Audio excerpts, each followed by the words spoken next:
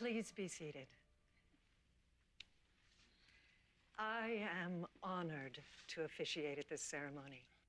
The uniting of these women today to establish a new family is an important and memorable event.